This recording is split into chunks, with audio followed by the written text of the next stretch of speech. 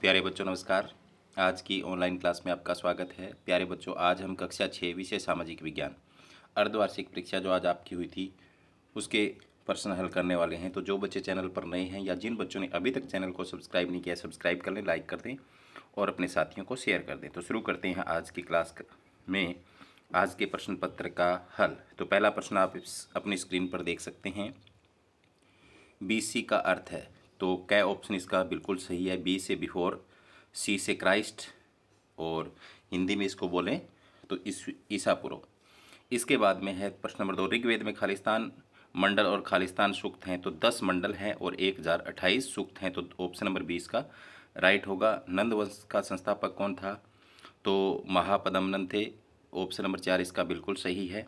इसके बाद में मगध की आरंभिक राजधानी थी तो गिरिव्रज यानी राजगृह पहला ऑप्शन बिल्कुल सही है। प्रमुख याम्योत्तर का मान कितना होता है? तो प्यारे बच्चों, यहाँ पर चारों ही ऑप्शन मेरे हिसाब से गलत हैं। ज़ीरो डिग्री होना चाहिए यहाँ पर। इसके बाद में ध्रुव तारे से किस दिशा का ज्ञान होता है? तो उत्तर दिशा का ज्ञान होता है। गर्मी में क्रिसमस का पर्व कहाँ मनाया जाता है? तो ऑस्ट्रेलिया के अंदर मनाया जाता है। वास्को डिगामा ने भारत आने के किस मार्ग की खोज की थी? समुद्र मार्ग की खोज की थी तो ऑप्शन नंबर अट्ठाईस का बिल्कुल सही है। हरियाणा में पंचायती राज के कितने स्तर हैं? तो तीन हैं। हरियाणा निम्नलिखित में से पुलिस का कौन सा काम है? तो यहाँ चार ऑप्शन है, उसमें से अपराधी को गिरफ़्तार करके न्यायालय के आगे पेश करना काम है। इसके बाद में है, निर्देशानुसार करें, प्रश्न नंबर ग्यारह है, मकर रेखा, भूमध्य रेखा के समानांतर साढ़े तेईस डिग्री पर स्थित है। उत्तर ध्रुव वृत्त उत्तरी गोलार्ध में स्थित है। सरस्वती सिंधु सभ्यता का सबसे विस्तृत स्थान राखीगढ़ी गुरुग्राम में स्थित है तो ये गलत है। वैदिक काल में जीवन को चार भागों में विभक्त किया जाता है, ये सही है। सुमित्रा के दो पुत्र लक्ष्मण और भरत थे, ये भी गलत है।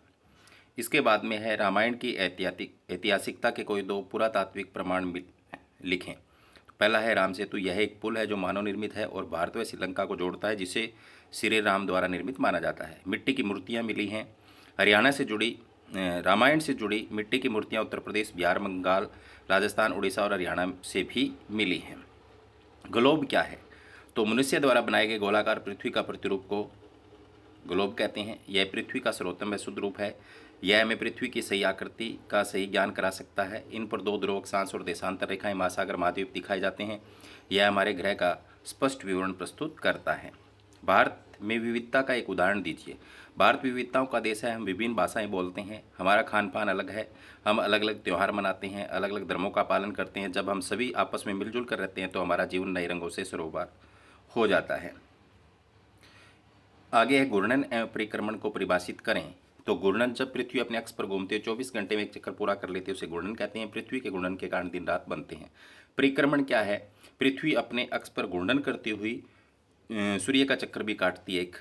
सूर्य के चारों और एक स्थिर कक्षा में पृथ्वी की गति को परिक्रमण कहते हैं। इस गति के कारण दिन रात छोटे बड़े और ऋतु परिवर्तन होते हैं। तो पृथ्वी जो है सूर्य का एक परिक्रमण, एक चक्कर जो है तीन सौ पैंसठ से एक बटा चार दिन में पूरा करती है। ग्रह और तारे में क्या अंतर है? तो ग्रह व आकाशीय पिंड जो निश्चित कक्षा में सूर्य के चारों चक्कर लगाते हैं, इनकी संख्या आठ है। ये सूर्य से उष्मा और प्रकाश प्राप्त करते हैं। तारे वे खगोलीय पिंड है, जिनमें अपनी उष्मा और प्रकाश है। तारे कहलाते हैं इसकी, इनकी संख्या अनगिनत है। सूर्य भी एक तारा है।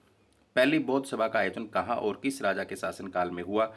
तो पहली बौद्ध सभा का आयोजन चार सौ तिरासी ईसा पूर्व में राजगृह की सप्तपर्णी गुफा में अजात शत्रु के शासनकाल में हुआ। सरकार शब्द से आप क्या समझते हैं एक सूची बनाइए कि किस तरह से सरकार आपके जीवन को प्रभावित करती है। तो किसी भी देश के ऊपर, उस देश के संविधान के अनुसार, उस देश प्रशासन चलाने वाली संस्था को सरकार कहते हैं। सरकार हमारे जीवन को प्रभावित करती है। देश की सीमाओं की रक्षा करती है। हमारे लिए जन सुविधाएँ जैसे सड़क, अस्पताल, स्कूल, पीने के पानी की व्यवस्था करती है, देश में शांति व्यवस्था बनाए रखती है। लोगों को न्याय उपलब्ध कराती है, दूसरे देशों के साथ शांतिपूर्ण संबंध बनाए रखती है, लोगों के विकास की योजनाएँ बनाती है और उन्हें लागू करती है। इसके बाद में महावीर स्वामी के द्वारा बताए गए पाँच महावर्त कौन से हैं? तो महावीर स्वामी के द्वारा बनाए गए पाँच महावर्त हैं। पहला है अहिंसा। अहिंसा प्रत्येक व्यक्ति का परम धर्म है। किसी भी व्यक्ति को तन और मन से हिंसा नहीं करनी चाहिए। दूसरा चोरी नहीं करना। तो महावीर स्वामी ने कहा है, चोरी नहीं करनी चाहिए, संग्रह नहीं करना। तो महावीर स्वामी जी ने कहा है, भी संग्रह भी नहीं करें, जैसे धन का संग्रह करते हैं, गलत है।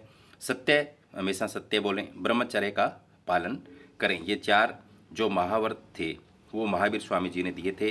तो ये था आज का जो अर्धवार्षिक पेपर, जो हुआ उसका हल। तो उम्मीद करता हूँ कि आपको समझ में आए होंगे, जो मैंने प्रश्न करवाए हैं यहाँ पर। मिलते हैं नेक्स्ट क्लास में, तब तक के लिए बाय बाय धन्यवाद।